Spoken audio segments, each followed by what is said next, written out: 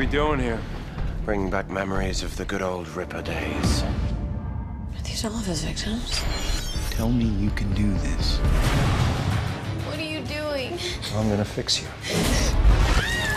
I see they've opened the doors to the riffraff. What can I say? I'm a thrill seeker.